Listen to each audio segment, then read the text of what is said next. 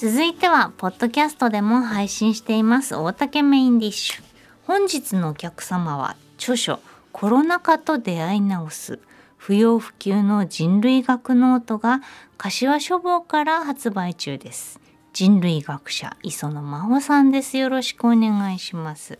はい。人類学者専門は文化人類学、うん。医療人類学、はいはい。はい。えー、と今度のご本はコロナ禍と出会い直すという、まあはい。一連のコロナ騒動を日本ではい。上上をした後の大騒ぎはい。になってましたね。すごかったですね、うん。パニックでしたね。ねはい。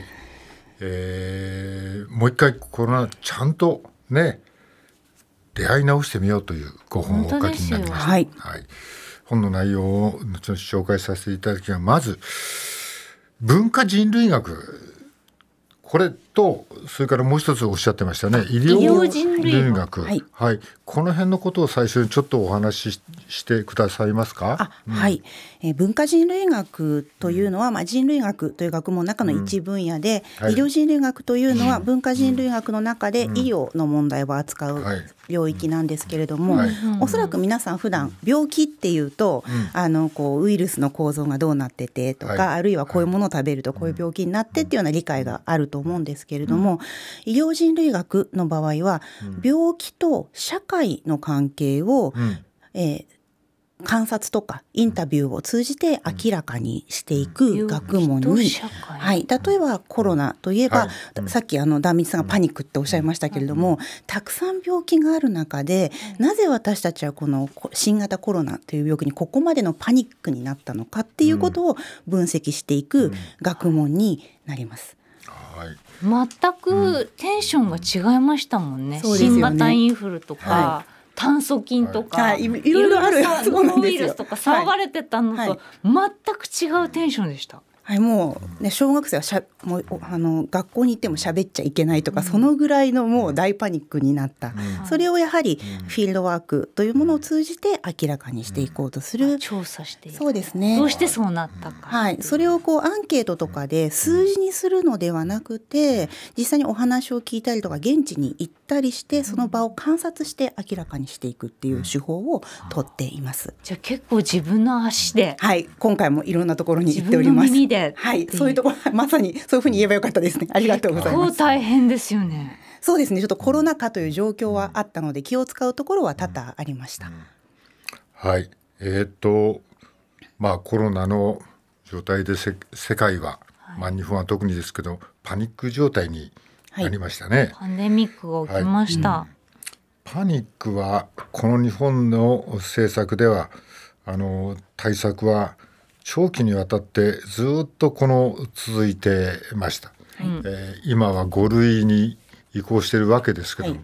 それでもまだ、えーとまあ、5類になったのは、まあ、お金を自分で負担するぐらいになっただけで、はい。それ以外のことはまだ続いているっていう現実ですね、はい。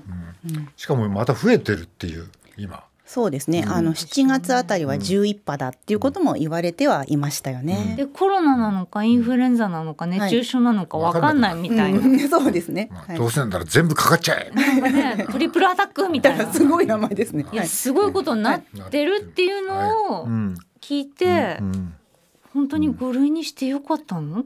はい、そこもありますけども、その前に、まあ、国は当初の頃は緊急事態宣言しましたねしましたねしましたね。はい。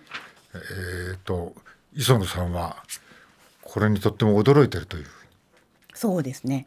はい。緊急事態宣言。あのもちろん未知の病気なので、当然やっぱりでワクチンもないので、もう行動制限しか防ぐ方法はなかったと思うので、その意味では仕方なかったと思うんですけれども、何に驚いたかというと,、えー、と国民側が政府に向かって緊急事態宣言を出せっていう怒りの声を上げたこと、ね。私はこれが一番怖かったんですよね。特に、あの当時安倍政権だったんですけれども、あの安倍首相に非常に批判的な方までが緊急事態宣言を出せって言ったわけなんですよ。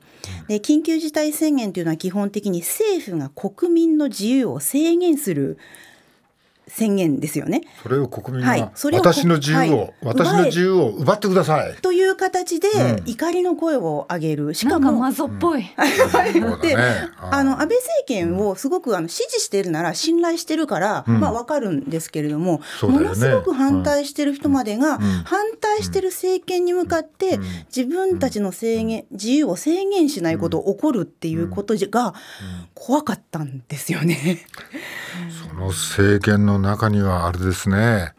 あのお葬式もうまくできないと。はい。病院に面会、はい。面会ダメです。今でも面会。場所によってはありますね。ダメと、はい。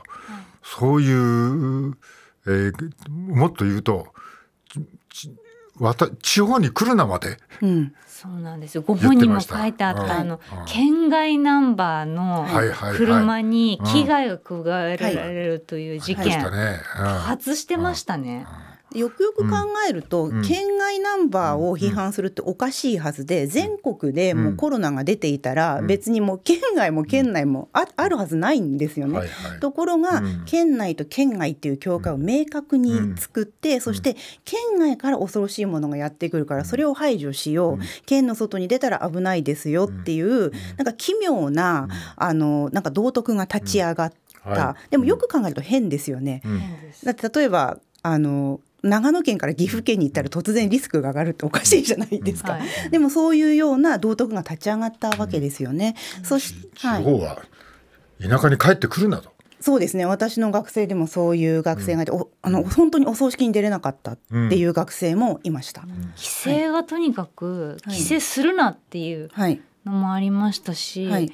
とにかく戻ってくると他の人たちが何か言うからっていうので怯えられてたっていうのはありますよね。例えばやっぱりその、まあ、検査をして陰性だったらいけるんじゃないかっていう考えもあったと思うんですけども、そういう問題ではないんですよね、うんうん。その県の外からやってくるっていうことが問題になってしまう、こういうことも本の中で書かせていただきました。えっとまあ、陰性陽性の判断がね、はい。とても重要で、はい。また陰性なんだからさみたいなのが、まあ、その論理と重なってないですよね。そうなんですよね。ね陰はい、性だろうと陽性だろうと、はい、まあ、陽性で来られたら困るけど来るなと帰ってくるなと、ね。はい陰性でもダメだと。でやっぱり属性そのなんかその人がその県外であるっていうのは属性あるいは夜の街とかうん。そういうものが批判されたりうん。もしましたけれども、あそうだったねあと若者とかそういう目に見えるような属性によってうん。ある種非常に差別的なことがコロナだから仕方ないっていう形でまあ正当化されてしまう気持ち悪さっていうものをやっぱ忘れてはいけないんじゃないかと思うんですよね。で夜のお店やってるからこういうことがどうだろうこうだらって言ってても、昼間やってる喫茶店にいやそうなはんですよね。そういうことは言われないって、はい。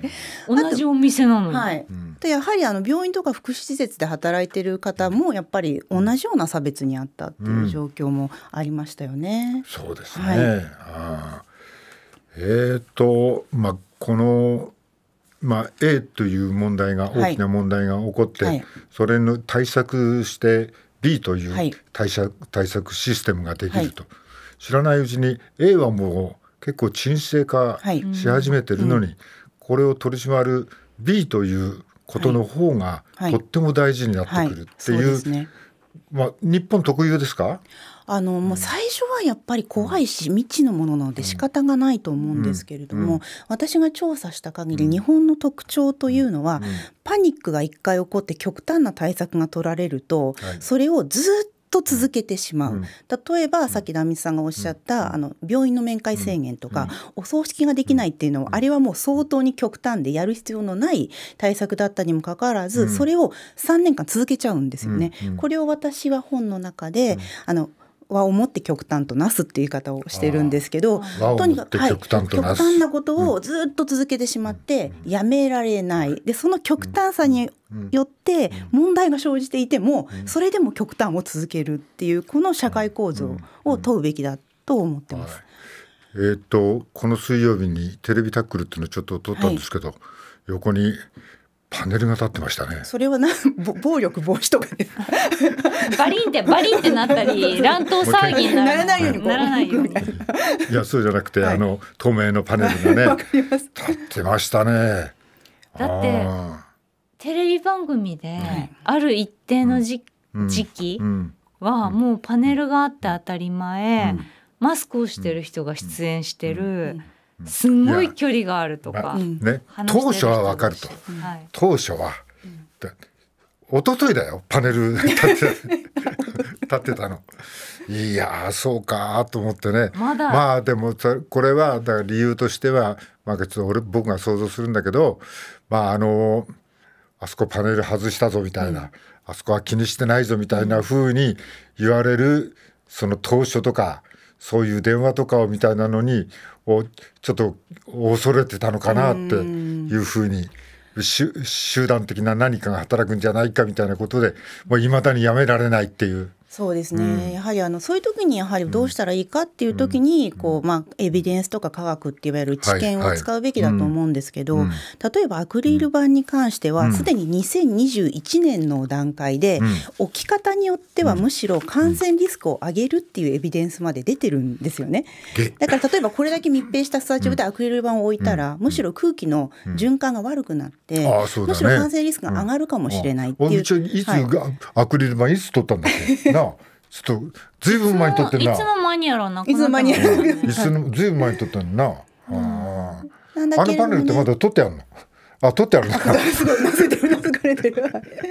だからそうなんですよ。今回の騒動であのパネルを作る人が一番儲かったと思うんですよね。まあかなりねそうでしょうね。じゃあそれはまあねそれはそこはいいだろう。儲けたってってしょうが無理ないだったろうなあれアクセサリーとかにもなったりしたみたいですね、あの後。あなるほどあのはい。このあの後。アクリル板を使った何か。なんかメモリアル的なのもちょっと記事で読んだことがあるんですけそんなことど。もあるんかいアクリル板ちょっとそんなちっちゃなアクセサリーにねしちゃうんだ。はい。えっ、と5本の中では、はい。えーとっても気になったところがあります、はい。それはえっ、とこれ島の名前はなんとか島みたいなことで、はい。ちょっとね匿名にしてはい。えーそこの現地にこう県外から島の島外から、はい。あ8人の人間がうん。訪ねていくと、えーそのうちの一人が、えー、とコロナにそうですね。陽性になるわけです、ね。コロナ陽性になりますね。はい。はい。でコロナ陽性ということになると、島内では、まあ、その何関節あなんとか関節？なんだっけ？あ濃厚接触者。濃厚接触者はい。はい。が、で当のご本人は、えー陽性だったのが陰性に変わって、そうですね。あのもうそのまま島を船チャーターして船で病院に行ってすぐ熱が下がって、うん。もう陰性になってもうお家に帰れた。お家に帰ってた、はい。ですがその濃厚接触者たちははい。どうだったんですか、濃厚接触者たちは島に残されて2週間、何の具合も悪くないしあと検査も陰性なのに缶詰になって、うん。かつ、えー、とホテルの最初部屋からも出るなって言われるという非常に理不尽な思いをする。ではい。それがまだ2020年の4月とか5月ならわかるんですけど、はい。コロナが始まってから1年半以上経ってるような状況で、うん。もうコロナが出たっていうことで、うん。ホテルから出るな。しかも船に乗ろうとしたら今度はそのまあ管轄している保健所がもし船に乗せてあの陽性になったら責任取ってくれるのかっていうふうはい。に商船会社に文句を言って船にすら乗れなくなるっていう非常に理不尽なことが起こったってエピソードを載せてます。まあだからあれだよね。まあ行政がはい。例えば、あの島の行政から言えばで出歩くなみたいなことになるし、はい。えー陰性であってもあなた濃厚接触者だからと、はい。はい。で船にしてみれば、はい。あのもう濃厚接触だったんだから、はいあの勝手に行動されて来られたら誰が責任取ってくれるんだ？一応商船会社は頑張って、本当にもうお子さんいる方とかもいらっしゃったんで、船にあの一番最後に乗って一番最後に降りる形で、デッキにいるっていう形で乗せるってとこまで行ったんですよね。はいはい。ところが、管轄の保健所から商船会社に責任取ってくれるんですかって言われたら取れないですよね。はいはい。それで乗れなくなってしまうっていう非常に理不尽なエピソード責。任の所在がはっきり誰か英断をしてくれる人が一人もいなかった、お互いが責任を、はいあんたが責任取りなさいよそれだったらそもそもその感染症の責任になった責任を誰かが取れるのかっていう、そもそもの問題もあると思うんですけど。うん。それをはい。誰かに、まはい。責任があります、責任を取りますみたいな、そういう問題ではないのに、そうなんですよね。結局責任問題、うん。まあ、あの当時って結構芸能人の方が、うん。あの感染して申し訳ありませんっていう、あの謝罪はなうん。何だったんですか、皆さんはなあ謝ってたのかっていうのは私ちょっとよくわからなかったんですけど、なんとかさんコロナ感染、い。謝罪の文章。はい、とか。出てたね。出てましたね。これは。まあ、仕事に穴を開けたという意味でははい。謝罪っていうのははい。あったかもしれないですけど、うん。でもなんかどっちかっていうとこうなんかコロナにかかってごめんなさいっていう感じでしたよね。が強かったですねはいうん。俺なんだっけ？今8月？はい。3月ぐらいにコロナかかったんだよね確かな、うん。うんもうあの5類になってからだよね、はい。はい、私も五類になってから5月。かかって、はい。はいであの陽性なんですよ。はい。でも体どこも悪くないんですよ、うん。で医者行って高い薬出すかと思ったらロキソニン飲んどけって言われて、はい。あそうですか？って言って、まあ安く860円で上がったんですけども、でもうちから出るなと、うん。えー4日間ぐらいうちから出なかったんですよ、うん。この仕事場にも来ないで、うん。まあでもロキソニンを飲んでたんですか？ロキソニンもだってまあ飲む必要ないんだって言いたくないんだもん、どこも、ははい。いただうちに、うんうん。まあ、いなんか何日間かいてくださいと、うんで、まあ、陰性なり陰性にすなったという報告してから、じゃあその陰性ですって言ってからじゃあ職場に復帰してくださいになったんだけど、まあ、ずっとうそうなってなかったからってまあ、人にもうつらないし、まあ、ただいい部屋の中じゃね、うん。まあ、コロナの当初と同じような行動制限が、そうですね。うんもうあご飯もトイレも、ん。みたいなことがずっと、うん。しかそれがもう今年のねあの3月かそのくらいの話だからこれ仕事も来れなかったんですけどこれ場所によってもお医者さんによっても言うことにかなりグラデーションがあるんですよね。だよねだからはい病院によってはコロナの患者さんが来ても、もうお医者さんもマスクもほとんどしませんよっていうようなところもあれば、もうなんか完全フルガードでうん。汗だくになってっていうような、うん。そのくらいグラデーションがあること自体やっぱりちょっと妙ですよね。同じ病気なのにこんなに差が出てしまうっていう。いまだにその宇宙服みたいなの着て処置している方々もいらっしゃいますからね。あともう一つさあのなんていうの？まあ厚労省かな、何かがあれだよね。あのー感染リスクを下げるためにあのー行動を制限するみたいな、あのーこれ以上を食えると病院が維持できなくなるから、はい、医療が逼迫しちゃう医から、医療が、だからあのどんどん自粛してくださいっていう話に当時はい。なってましたよね。はい。で、あの、うん。ご本人も抱えてた謎の不要不急、うん。はい。うん。まあそれ、まあそれもあるそれもそうなんだけど、そのあの厚労省の取った立場もちょっと理解できないんだけどな。どうですかその辺は？その多分その、あああいう言葉をどういう私もそのなんかダイナミックスの中で発信されていたのかわからないんですけれども、やはりその今回のその不要不急の行動制限っていうのは、やはりその医療逼迫を避ける医療崩壊を避けるっていうことが一番の目的だったはずなんですけれども、やっぱりその医療体制を大丈夫なように柔軟に変えるっていうことが3年間できなかったんですよね。その結果、まあ、ある種同じ病院がずっと逼迫してしまうという状態を起こってしまった。うん。だけれどもやっぱり世界一うん。ベッド数のある日本において、うんうん。なぜその柔軟な運用ができなかったのかっていう問題は未解決のまま、結局3年間2023年の冬も医療逼迫ですっていうような状況が起こって変わらなかったんですよね。やっぱりそこに最初はしょうがないと思うんですよ。うん。もう本当に医療逼迫起こらないようにするのはしょうがないと思うんだけど、それが全く変わらなかったっていうこと自体にやっぱり検証がほとんどされていない。3年変わらないってやっぱ異常ですよね。まあでもまああえて言えばね芸能人の有名な方がおなコロナでお亡くなりになったと。うんありました。ねありましたね。うん。ありました一人、ねはい。いや二人じゃなかったですもんね、はい。しかも。それがあってからなんかこうちょっとそのなんていうの葬儀にも会えないと病院にも行けないってその後にどんどんなってくるんだけど、やっぱしなんか有名人が死んじゃったっていうのから、なんかこう派生的に、うん。まあ、コロナをもとっても恐ろしい、うん。対策をうまく向き合えないうん。形になっちゃったんじゃないかなと思ってるんですけども。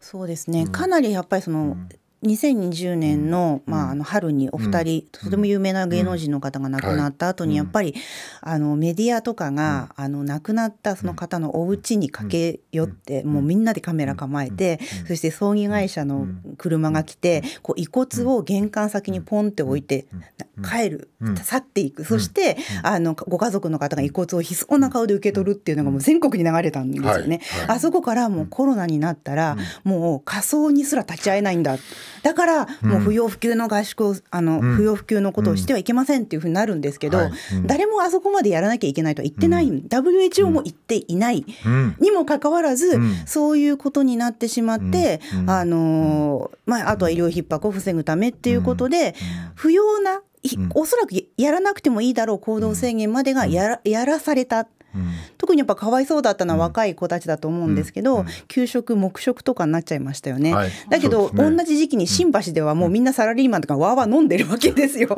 だけれども小学生はもう一言も喋っちゃいけませんっていうような状況になる。やっぱ極端ですよねこれは。どうしてそういう状態が起こっちゃうんですか？あるところでは規制が効いてるのに、はい。はい。まあねあると場所ではもう規制も関係なくなっちゃうようだなっていう、ってマスクしながらご飯食べてましたよね。あありましたね。はいありました。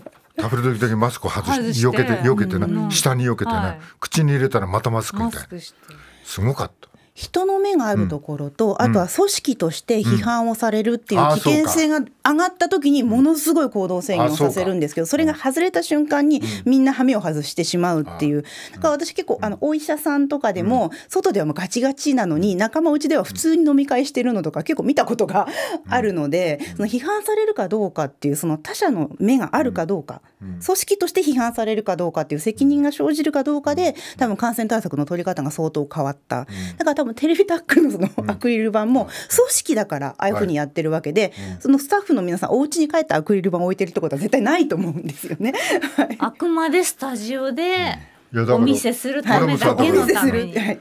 俺ラジオやっててここでフリーでさ、はい。テレビ行くとアクリル板みたいなさ、意味わかんねえみたいな。不思議ですよね。しかもテレビによって違うし。いまだに起こってるわけだよね。うん。なんかこう何もしないっていうのはおかしいと思うんですね。やっぱりはい感染症なのでノーガードはおかしいと思うんですけれども、やっぱりそのやりすぎもおかしいわけでその中間を取れなかった3年間が日本のコロナ禍であろうと考えています。はい、それはもうさっきの話に戻りますけどもその厚労省のなんかこう医療パニックが起きるのを避けようとする力が強かったんですか？それとも私たちが自分たちの内に持っている自己き自己なんですか？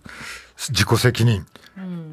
みたいな意味合い責めで、られたくないっていう気持ち。そそれが今おっしゃったその例えばテレビ局とか社会の構成の中にそれが入り込んでる、はいどっちどっち？と私の場合はどちらでもなくて、やはり日本というのは法律で制限はしてないんですよね。お願いしかしてないんですよ、なるほど。その代わり何で規制するかっていうと、国民同士の相互監視っていうことによって規制をかけた、これがまあコロナ禍の3年間で、まあ、感染を抑えるっていう意味で良かったかもしれないですけど、非常にえっと弊害も大きかった3年間なのかなと思っています。いつも誰かが見ているぞっていう。はい、法律は本当お願いしただけなんですよ。こうしてくださいねって要請しか出していないってところがポイントだっぱり人の目っていうのが一番の関心なんか日本の場合力になっちゃったんですね。はそういう傾向が強いんだと思いますね。改めて磯野さんの著書、コロナ禍と出会い直す不要不急の人類学ノート柏書房から発売中です大竹メインディッシュ本日のゲスト磯野真帆さんでした。どうもありがとうごはいざいますありがとうございました。ありがとうございました。うん。ワクチンまだ打たなきゃダメ？